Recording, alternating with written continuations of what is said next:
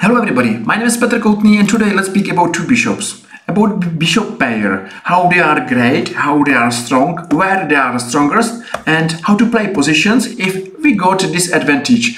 Let's speak about game Salo Flohr and Michal Botvinnik uh, year 1933 and uh, white Czech Grandmaster Salo Flohr will beat great Michal Botvinnik. Why?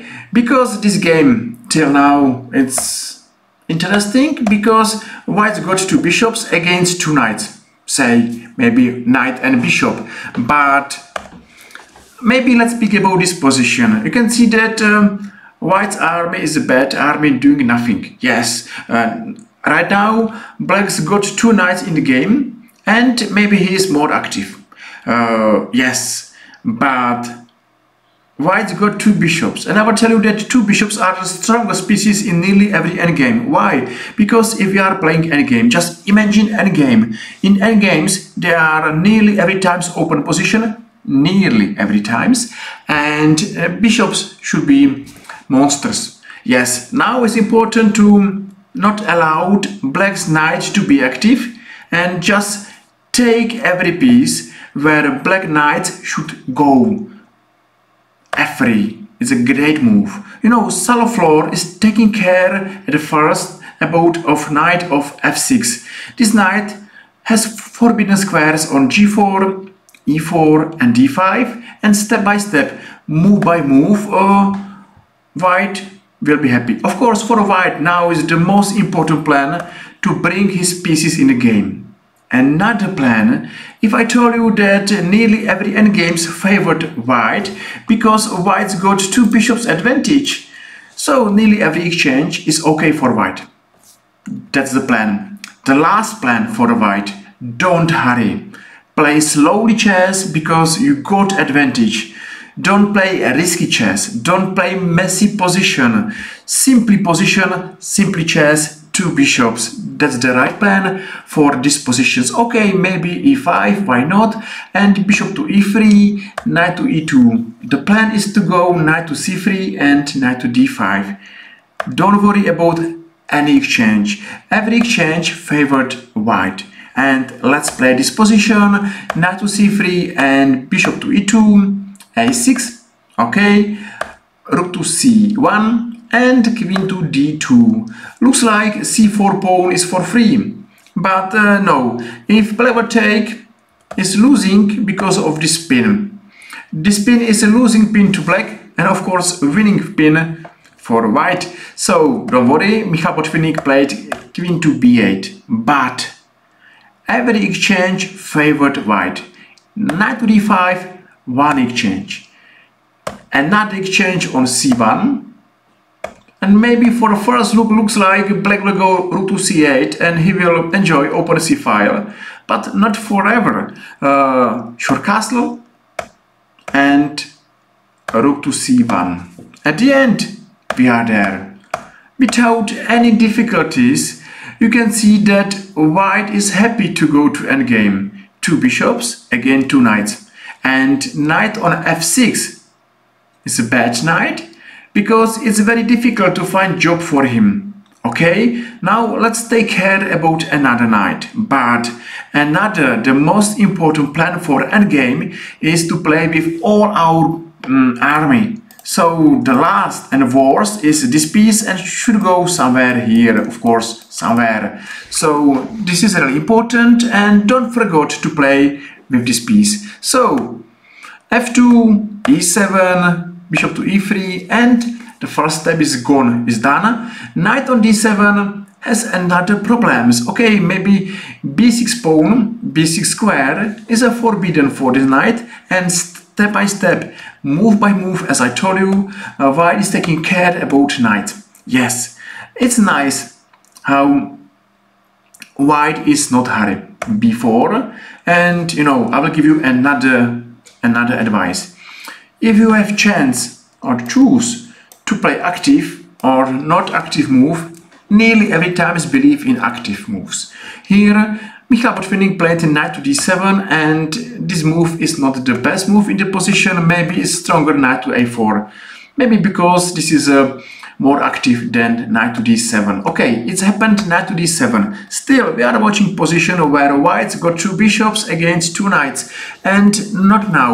Maybe one day knight will go h5, f4. Why to wait till tomorrow? Let's play g3 and another plan. Another reason why um, black has got this knight in this game is gone. And you know, careful game. Uh, knight to b6, of course, is a threat to be active on a4. Let's go there immediately. You know, this is a beautiful game where white doesn't want to give any chance, any chance to black. Okay, a4. So, these two knights are bad in this position because they don't have a good job. Yes, of course, two bishops are here, but you know, uh, this bishop is a strong piece and this is not bad. Okay, but it's a time for his improvement. It's not difficult to improve this bishop, but step by step, don't hurry. Knight to b6 and a5. So, one knight, bad knight. Another knight, another bad piece. So that's a small victory for white. Of course, it's still a long way to win this game, but at least we know that we are fine. Okay, another bishop to b2. Maybe one day we are playing f4. It's good to show activity and to plan because black is really passive and black should only wait to our moves. So don't hurry. Queen to e3, bishop to f1, uh, maybe we are going here, we are going here. At least uh, black's position is terrible hard to play. You know, two black passive knights, nothing to do. Uh, knight to b5, h4. Of course, we are not taking this knight because we know that we got two bishops, h4 and bishop to h3. So now we are happy to get this strong uh, bishop. One day, maybe we are going bishop to c8 and we are taking these two pawns. So that's the first threat. Uh, as I told you, two bishops in open position, two bishops in open game. That's a fantastic weapon. It's really good to know this game and play like Salo Flohr f4. Let's open position, f5 and bishop to f5. You know, every pawn moves is making new weakness uh, for black. g6 happened and why not to wait? Bishop to c1 and maybe here is another weakness. So, you know, it's a funny that sometimes we are enjoying game of Michal like Michal is going only forward and he's attacking and attacking and winning. And sometimes it's not boring to watch this endgame where we are watching two bishops and these two bishops are still strong pieces and I believe this is exactly the chess beauty. You know, this is another chess beauty. Just play simply, slowly and good chess and just understand two bishops. Knight to g7 and one take and take. Okay. Another threat just to take on h6 maybe if black is playing g5 take take and I believe here that nearly white is winning. Yes of course one day white is going here. That's the first winning plan. Another winning plan is if white managed to go to c8 is winning over here. And the last winning plan is black is really passive. Uh, from the opening till now black didn't find activity, the right squares for his knights and um, this game he is not enjoying. So let's come back and we, we are watching move h5 and bishop to e3 bishop to h6 and g4 yes it's really important to open new lines new files and to be more active.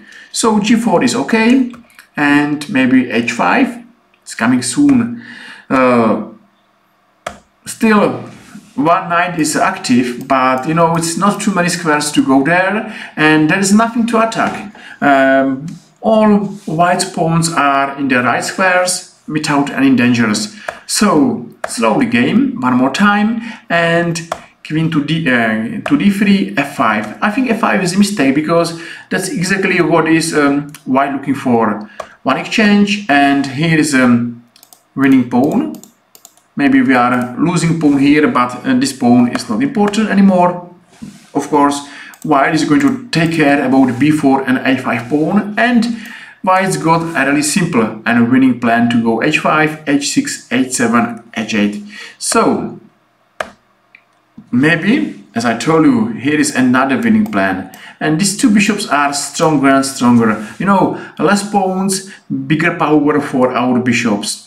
Uh, less pawns, more space for our bishops and bigger activity to our bishops. So, uh, bishop to g6 and of course uh, not hurry.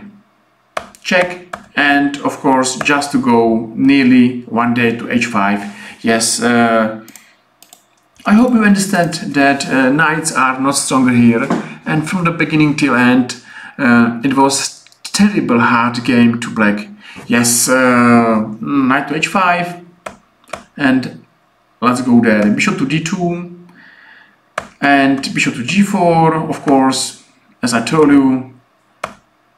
Another threat just take and bishop to f5 bishop to d2 and black resign yes of course it was not the most exciting game ever but it was interesting that from the beginning till end only one winning plan was to get open uh, two bishops pair to endgame.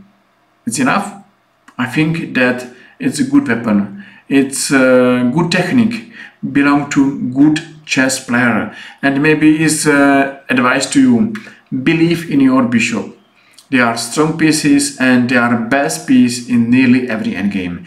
As we saw here Salo Flohr played really well and well done to Michal Botvinnik sometimes we are winning sometimes we are losing. That's life that's a chess Okay, we are at the end of this video. Thank you very much for watching. I hope you enjoyed. I hope you saw something interesting and you know that two bishops are strong pieces in nearly every endgame. So if we got two bishops advantage, it's good to us to exchange nearly everything, not bishops, and then to enter endgame.